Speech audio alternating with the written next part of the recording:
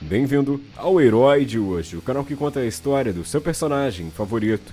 Eu sou Jonathan Maia e hoje você irá conhecer a origem de Tal Sinestro, o líder da tropa dos Lanternas do Mito. O Sinestro surgiu na revista Green Lantern volume 2, número 7, mas sua história de origem só seria contada na revista Emerald Dawn número 2 e expandida na revista Green Lantern volume 5, número 23.4. Tal Sinestro era um arqueólogo que buscava por relíquias em construções milenares no planeta Korugar. Um dia, próximo de sua localização, ele acabaria presenciando a queda de uma nave. Indo até o local para checar se havia algum sobrevivente, o nosso personagem conheceu Prowl, o Lanterna Verde do setor 1417, que estava seriamente ferido. De repente, um poderoso vilão alienígena surgiu, destinado a matar o Lanterna e assim tomar para si o Anel do Poder. Sem opções, o Anel Energético acaba escolhendo transformar Sinestro no novo Cavaleiro Esmeralda para conseguir proteger o agente. Usando o anel, o nosso personagem descobriu que ele era movido pela força de vontade e assim ele libertou toda a sua imaginação para conseguir derrotar em segundos o seu nefasto inimigo. Depois, em seu leito de morte, o antigo Lanterna Prowl pediu para que Sinestro devolvesse o seu anel e chamasse a ajuda dos Lanternas Verdes. Mas o nosso personagem ignorou as suas preces e não fez nada, deixando que o alienígena morresse em sua frente, para assim se tornar o novo Cavaleiro Esmeralda daquele setor. Sendo um poderoso agente, Sinestro era reconhecido por todos os Guardiões do Universo e por todos os Lanternas como sendo o melhor Lanterna Verde de todos os tempos, pois em seu planeta natal não havia nenhum tipo de crime e qualquer ataque era cessado em segundos. Porém, o que ele jamais poderia imaginar era qual era esse nefasto motivo de que o planeta Korugar era tão pacífico. No passado, o planeta era atacado constantemente por fragata de invasores conquistadores que buscavam tomar todo o controle do planeta, mas sempre eles eram impedidos por Sinestro, que usando seu poderoso anel conseguia derrotar todos eles em questão de segundos, sendo reconhecido por todo o seu povo como um grande herói. Mas depois de tantos ataques sucessivos, Sinestro decidiu que deveria fazer algo diferente e se destinou para criar uma nova estratégia para conseguir proteger o seu mundo, elevando seu poder da vontade ao limite, criando uma verdadeira utopia em sua visão, onde não existiria mais nenhum crime nem dentro nem fora de Korugar, criando para isso uma tropa robótica que atuaria como fiscal da lei e da ordem.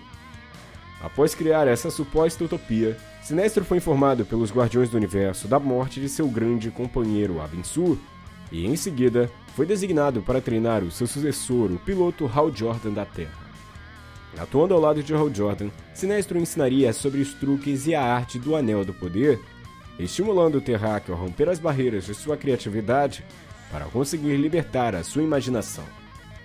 Em pouco tempo, Sinestro acabaria vendo na figura do terráqueo um grande amigo e decidiu confiá-lo um segredo, mostrar a maior realização que havia feito com seu Anel do Poder em seu planeta natal. Chegando em Korugar, Hal Jordan ficou completamente espantado, sem nenhuma reação, ao descobrir que Sinestro havia se tornado um tirânico e imposto uma verdadeira ditadura em seu povo, usando o Anel do Poder da Vontade para gerar medo no coração de todos os habitantes daquele mundo. Se opondo a Sinestro, Hal Jordan emite um chamado para a tropa dos Lanternas Verdes e entra em um intenso combate contra o nosso personagem, para conseguir libertar os habitantes do planeta Korugar, que termina quando a tropa dos Lanternas Verdes aparece e chegam e veem todo o caos causado por Sinestro e decidem levá-lo para ser julgado por seus crimes pelos Guardiões do Universo. Julgado como culpado pelo crime de usar o Anel do Poder para disseminar o medo, algo que é justamente o que deveria ser combatido pelos destemidos Cavaleiros Esmeralda, Sinestro é condenado ao exílio na dimensão de antimatéria no planeta Quart. Jurando vingança aos Guardiões, Sinestro acabaria conhecendo no planeta Quard os Trovejantes, guerreiros criados pelo próprio Anti-Monitor, que viram no nosso personagem um ícone de luta contra os Guardiões do Universo. convencendo os trovejantes a ajudarem-no a construir um novo anel, movido pelo espectro amarelo, a maior fraqueza dos guardiões, Sinestro desenvolveu uma nova arma energizada pelo espectro emocional do medo e passaria a usá-lo para criar um exército, a Tropa Sinestro.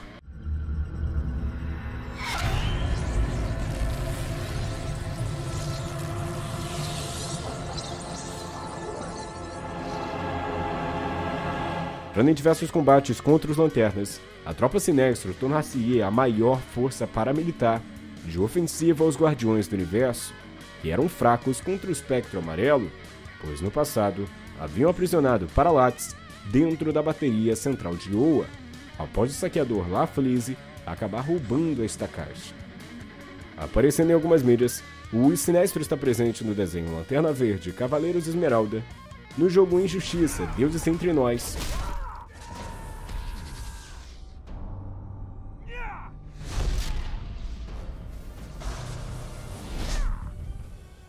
e no filme Lanterna Verde de 2011. Mas e você, jovem herói? Você também é um fã do poderoso Sinestro, o Lanterna Amarelo? Se você gostou, clica na manopla do YouTube e deixa aquele seu super like. Para mais origens, se inscreva em nosso canal e se torne você também um herói de hoje. Escaraplush! Eu já fiz outros vídeos sobre a mitologia dos Lanternas Verdes e você pode acessá-los clicando nos vídeos que estão aparecendo agora na sua tela. Aparecendo agora na sua